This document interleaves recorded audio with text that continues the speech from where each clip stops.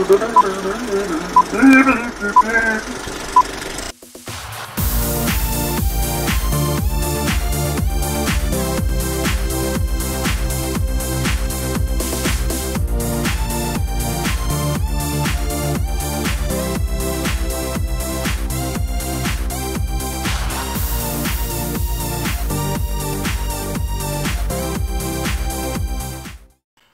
Okay, so I spent some time ciphering on how I was going to mount these uh, casters onto this frame, and with a little bit of thought, this is what I've come up with.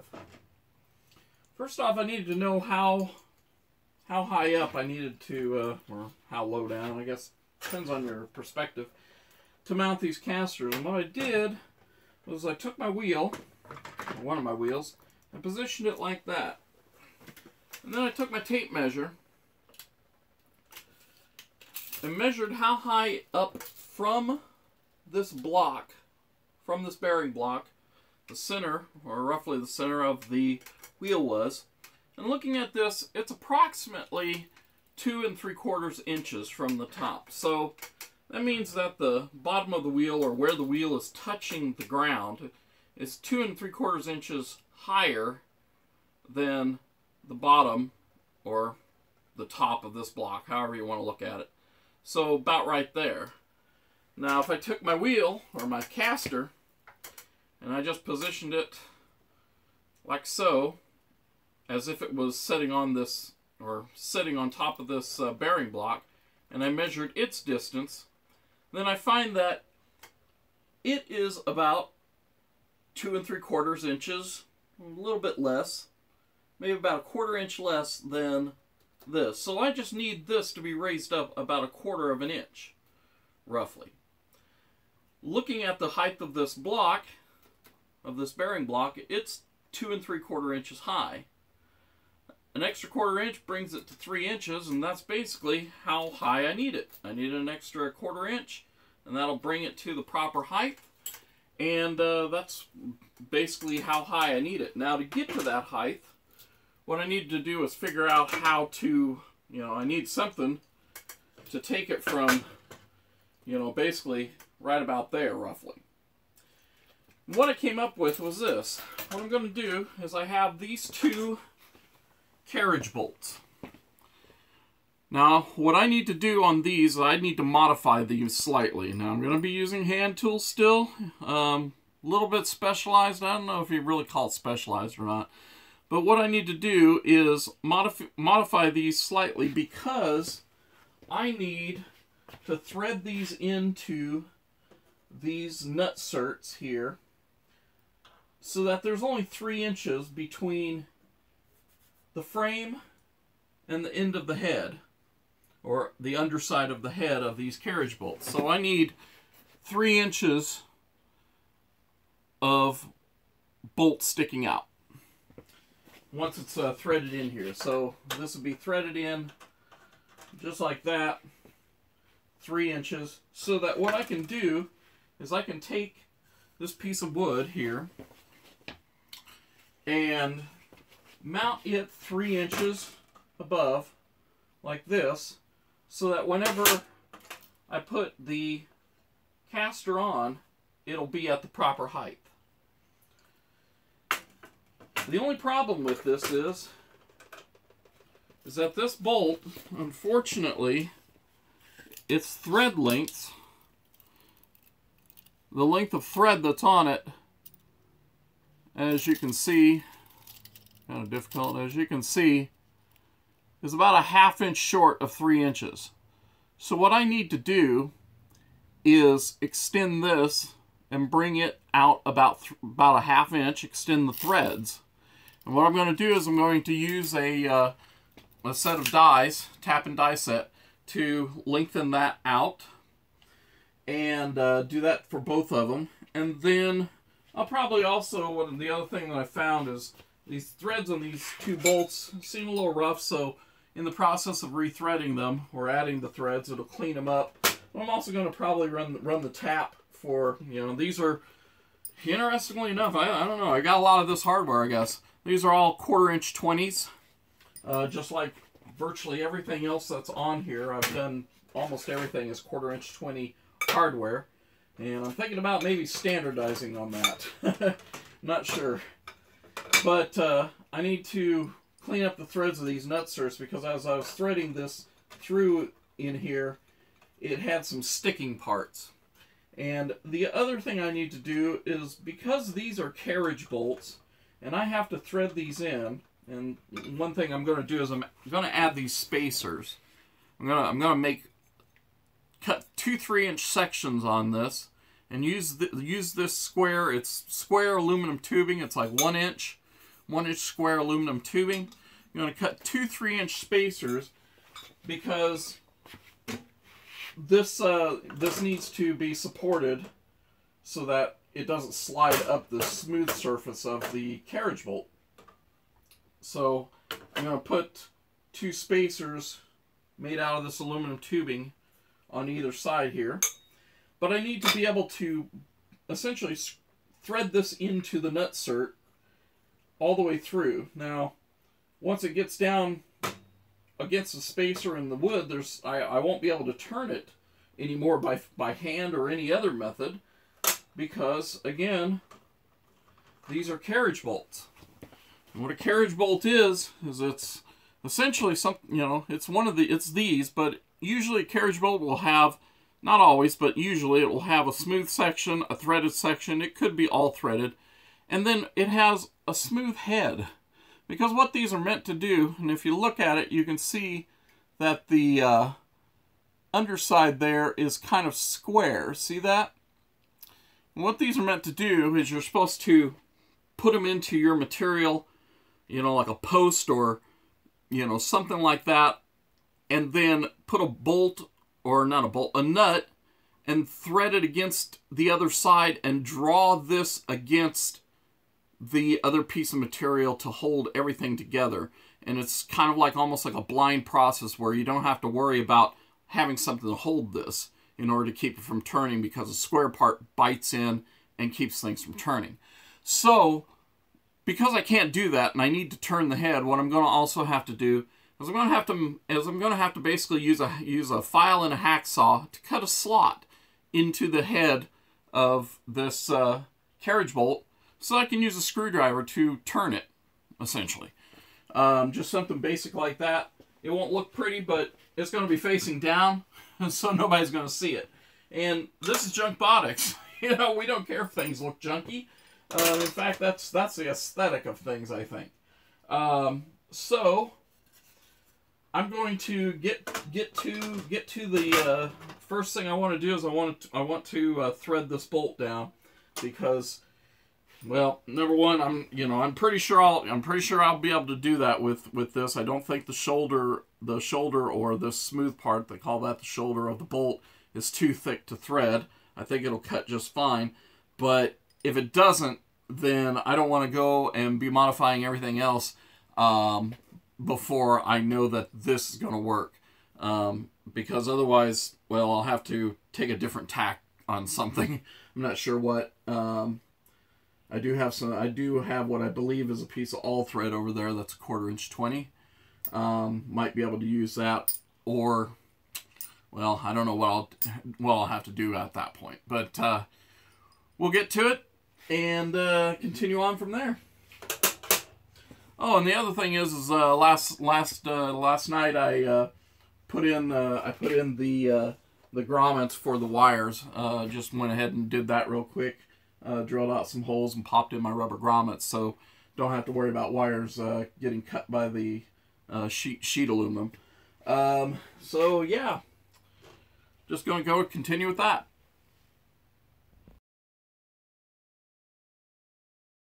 So I'm just over here uh, attempting to add some new threads to this uh, carriage bolt. And so far it's going okay, but I'm still on the uh, regular threads and I'm just using my standard 3-in-1 motor oil. Has my thread cutting lubricant which works actually pretty good. It's a, it's a pretty good lubricant. Okay now I'm at the end of the threads and this is where it's going to just be kind of slow. Just gotta do a little bit at a time, rotate a little bit into the metal, and back it off to get the shavings out. But it's actually cutting pretty good, so. And this uh, this this uh, tap and die set I have is just something I picked up at Harbor Freight. Relatively inexpensive. I've got one that's uh, for uh, American Standard or SAE, and uh, another separate set that's for metric. Very inexpensive, well worth getting.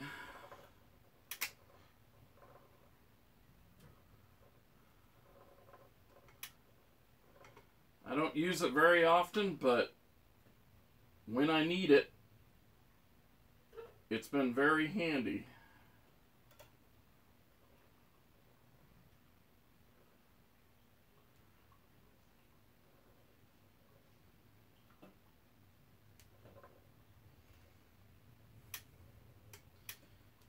Okay.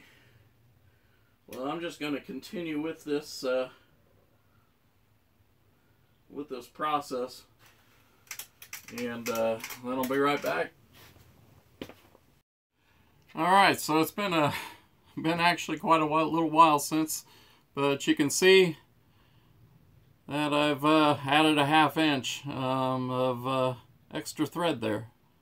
So, uh, you know, it's uh, it's a long process. Hand uh, hand threading or doing you know tap and die work by hand.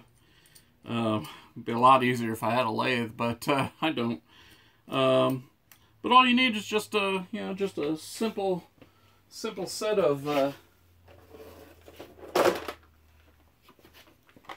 set of uh, tap and dies.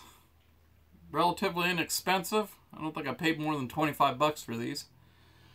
And uh, a vise, and something to hold the vise down with, and something else I had discovered while I was doing this is, well, keeping this thing from turning, because that vise is a, it's a drill press vise, but it has a, it has a smooth surface, and uh, and uh, this uh, smooth shaft or a smooth shoulder of this uh, carriage bolt wanted to turn in it so what I ended up doing was actually lifting the carriage bolt up and clamping it to the square part and uh, that prevented it to turn from turning. But you got to apply a lot of torque on this to get the to get the uh, die down. Uh, you know just basically an eighth of a turn and then back it off a quarter go back around another eighth back it off a quarter. Just got to keep doing that to break the chips and uh, um, advance essentially. So but uh, you know it uh, all goes goes all the way down the threads. It's uh, this is perfect. So I just got to do one more, and then we can then I can uh, continue on with uh, everything else. okay, so uh, I have uh, both uh, screws or both bolts finally done. Um, got them fully uh, fully threaded, and got some regular uh, screwdriver uh, heads sawed into them. Almost looked like they were manufactured that way. But uh, yeah, now uh, now I can go ahead with the rest, which is uh, well, I gotta I gotta gotta cut that wood down, um, that wood that wood piece, and uh, also cut those uh, cut those uh, pieces of um, aluminum down um, for the spacers. Uh, one thing that I did notice that I did notice uh, as I was remeasuring is that rather than three inches, I actually needed it to be two and three quarters inches, um, and uh, so I adjusted things for that. Not really that big of a deal. So let me uh, get to the uh, doing the spacers and uh, move on from there.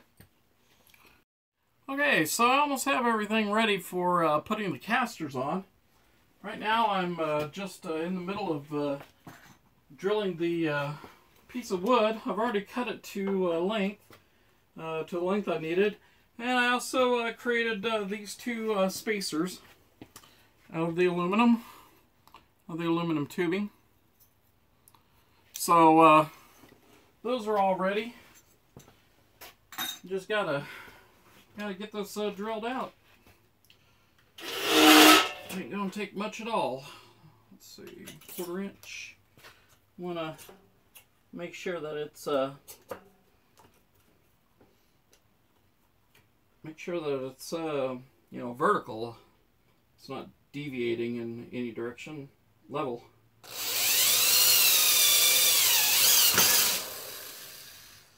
All right. Well, that was easy.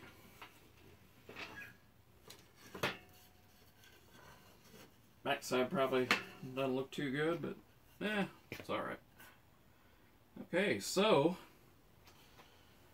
get our uh, get our screw here, test fit it. Yep, goes through pretty good.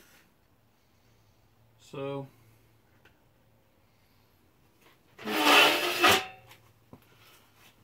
So there you go. There's our uh, there's our uh, wood piece. Now we're just going to have to assemble it. So I'm going to get things uh, set up for that. We'll do that. All right. Well, I got things uh, set up to uh, put this uh, put this caster holder plate thing, whatever you want to call it, on. And what I'm doing right now is I've got this handheld uh, chamfering uh, bit thing. Uh, it's used for, if you had uh, countersink screws, it's uh, used for creating the countersink uh, by hand. You can also buy you can also buy a, a bit that'll go into like a drill or a cordless screwdriver that can do the same. But sometimes I like having the control of just a hand and this is really useful for also deburring holes in aluminum and uh, plastic and everything else. So uh, kind of a useful there. So I'm just uh, doing this on this uh, on this wood piece to give a little bit of uh, space for the um, for that square part on the carriage bolts.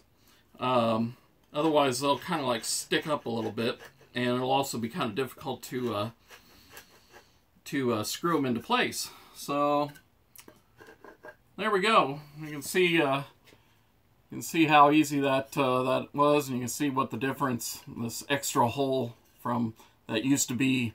Well, I don't know what this used to be, but it used to be a piece of wood I had, and it had these extra holes in it, and I reused one over here, but had to drill another one for over here. So, we'll go ahead and take these take uh, one of our screws or bolts, put it down in there.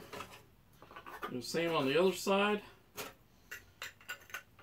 Put our uh, spacer. Let that sit there. Do the same on the other side.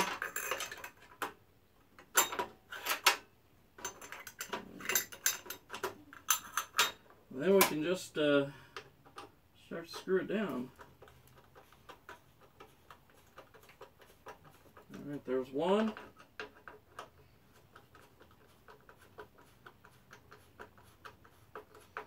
And there goes the other. So I'm going to continue to get this uh, completely mounted. It's going to take a while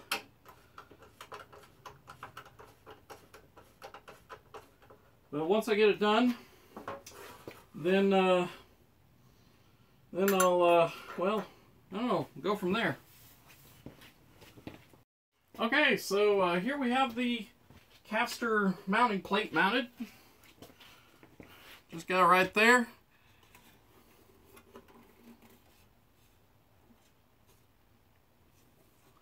Now all we have to do is uh, get the uh, casters mounted onto it. And uh, what I'll be doing is I'll probably, what I'm going to do is I'm going to basically transfer these holes, probably, I'm not sure where I'm going to put them, probably, probably somewhere like that. Just right on the inside. And uh, drill out drill out some holes and uh, get some small bolts and bolt it bolt it together.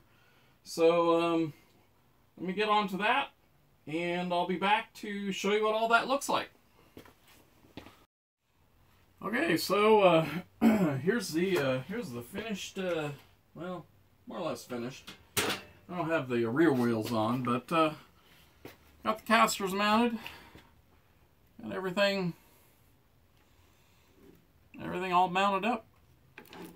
See, I used uh, some small bolts and got some uh, got four bolts on each one, small things. And then uh, the other thing is you can also see up here those uh, things right there is uh, the grommets.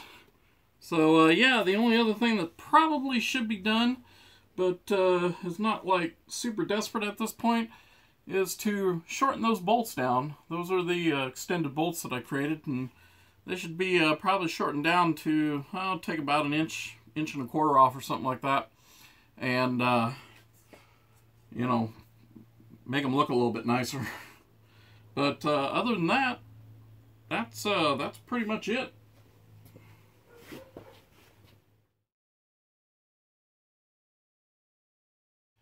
Okay, well that's what it looks like uh, with the wheels on. Um, I don't, uh, they're not uh, permanently attached right now. I don't have the clips on or the uh, hose clamps holding them on, but uh, it gives a good idea of what it what it looks like whenever uh, whenever it's well whenever we get it fully operational.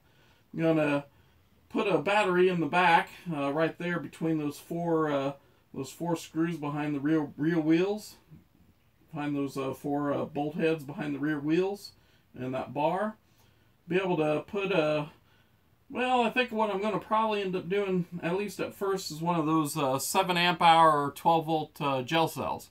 Um, should give me plenty of uh, plenty of run time and plenty of current uh, capability for for this base. Um, but that'll be in a that'll be in a future video. so that's uh yeah that's it right there that's the base so that's how you build the chassis so as you can see, it can be easy to build a robot chassis, like this one for a Follow Me robot, using nothing more than mostly basic tools. While your own robot may be more complex when it comes to its own chassis design, the same kind of tools and techniques can be used to build it.